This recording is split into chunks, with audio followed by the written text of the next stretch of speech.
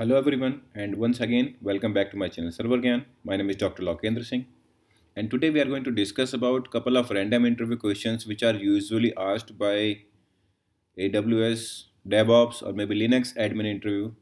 Hmm. So these questions are related to network, Linux, AWS and other things. So let's go through it. So the very first question is and let me tell you that this question was asked to one of my friend who has somewhere four year of four year of linux and aws admin. So this question was asked to him.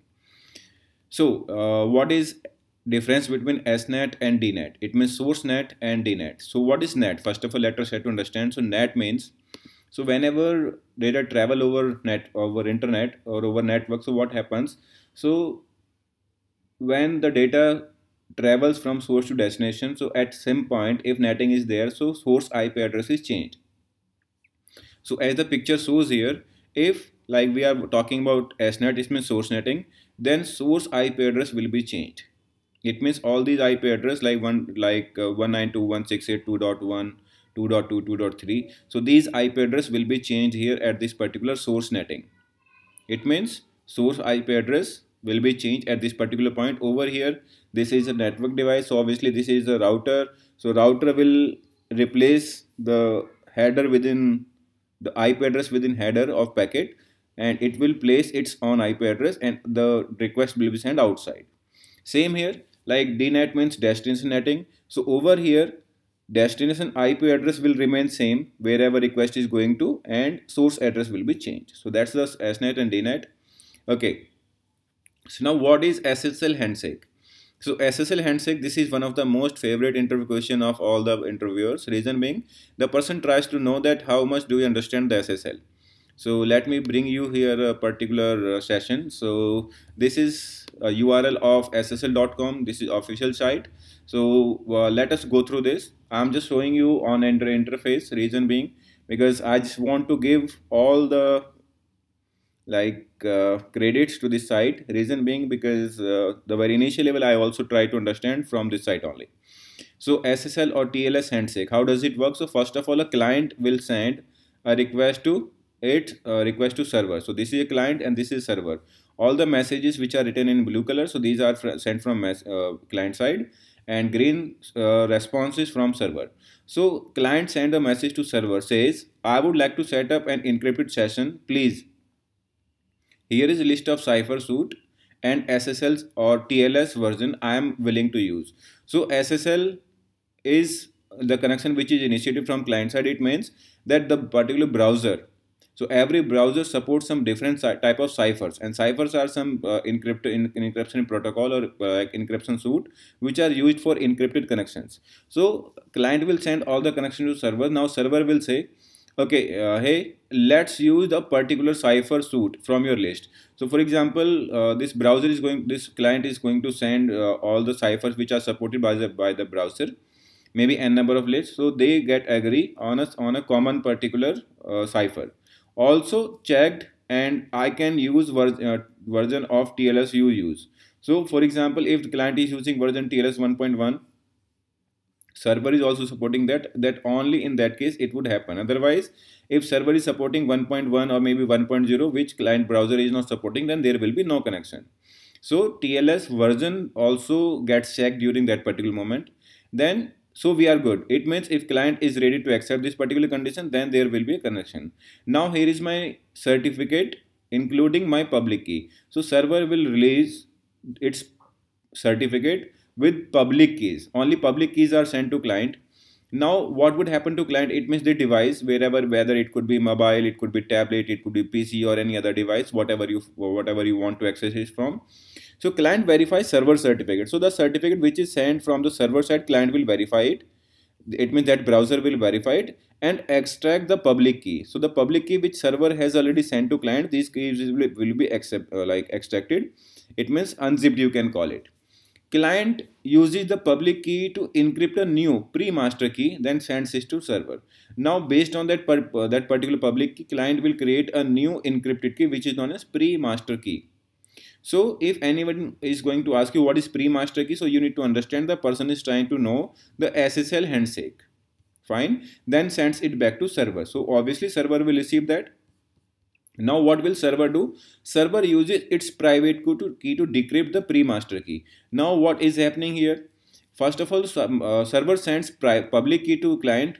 Client used that particular uh, public key to create a pre-master key and that key is sent to server. Now server is going to decrypt that particular key because right now the the particular server has information that obviously the same private key which I send to client the client has sent back to me it means the browser is authenticated and has rights or has capability to decrypt my keys okay now what would happen here is uh, client and server both use this pre-master key so what is pre-master key? So pre-master key is a combination of uh, server's public key and uh, the particular pair of that key is encrypted by this client. Fine. So this is called shared secret. Shared secret means browser and uh, the particular server. It means the client and the server agreed on the same particular option. So that is known as shared secret.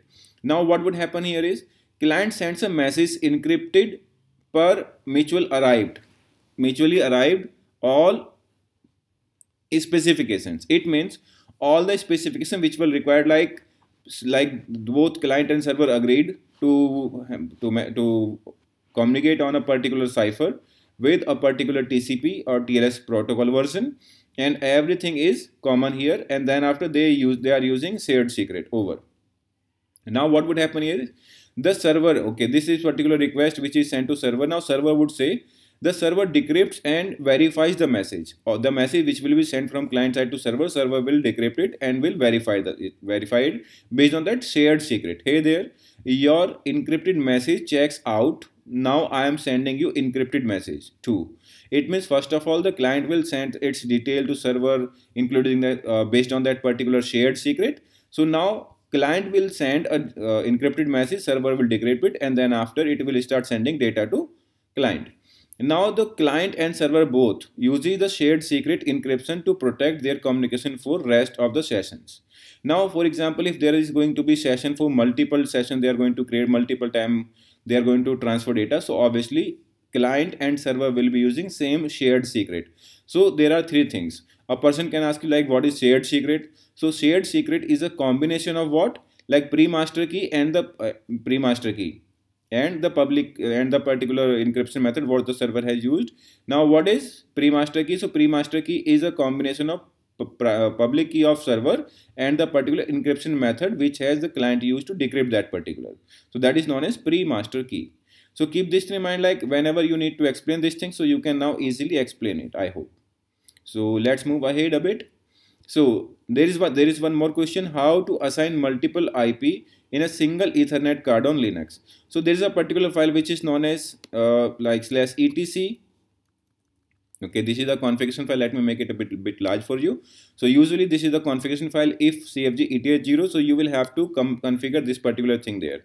So what is the thing you are going to configure? First of all device name then after a boot protocol is static or whether you can keep it DHCP, whatever you want, IP address, net network mask, gateway and on boot, yes.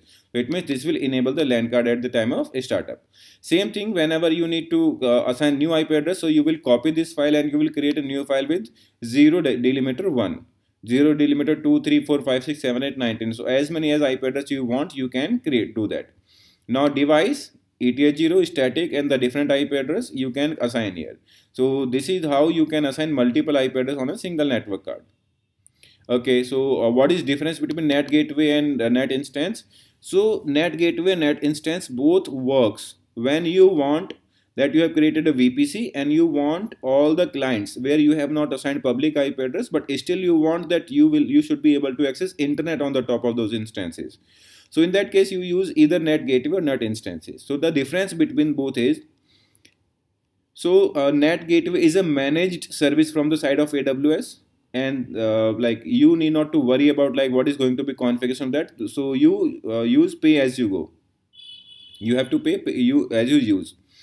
If we talk about NAT instance, so NAT instance is a type of EC2 instance which comes uh, with pre-configuration uh, already done within it and you have to do only one thing source and destination check you will have to disable fine. So there is a particular drawback as well. For example if you are going to use any t2 micro t2 small or maybe any other type of instance which is very small. So network you can become a bottleneck for your internet connections for example if 50 servers are downloading package at the same time. So there will be very less speed. Reason being because all the instances behind this NAT instance will be downloading uh, packets or will be downloading data using the, this NAT instance only. So that will be that will become a bottleneck at, for your network okay so there is one another question how many dns servers can be defined in a linux server? So obviously the answer is three. So primary secondary and tertiary so there are only three major dns servers which we can assign as a failover. For example if first dns server is not responsive so my my uh, linux server will reach out to second one. If that is not responsive then it will reach out to third one. So keep this in mind. This is based on priority. And maximum three servers we can assign within a linux box. Okay? For example if you have two interface in linux how can you identify from which network traffic is going outside.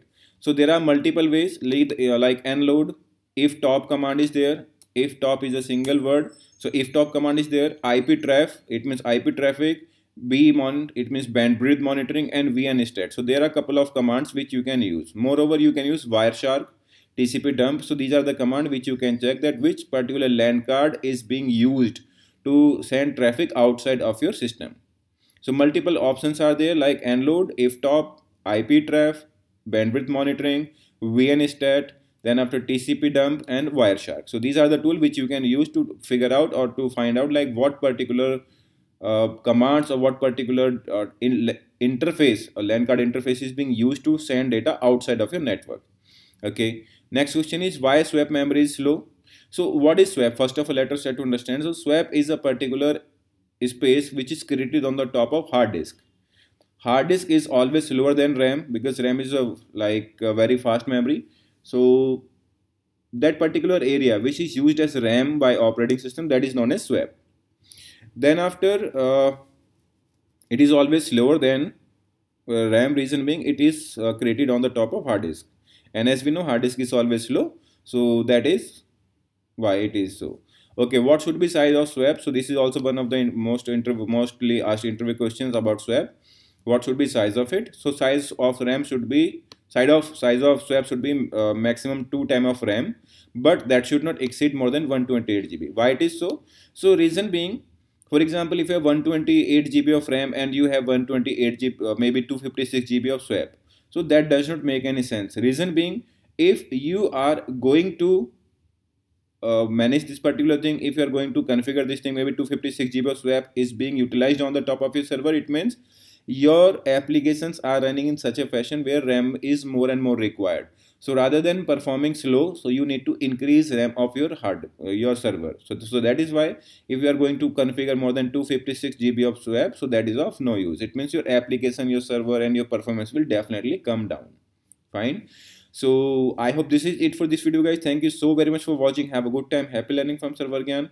Please do like, share and subscribe to my channel and please do write comments comments in comment box if you have any further questions i shall be happy to assist you one more thing if you have any further interview questions which you have uh, recently faced so please do write in comment box i shall collect and i shall create a new video on the top of it thank you so so very much have a good time and happy learning thank you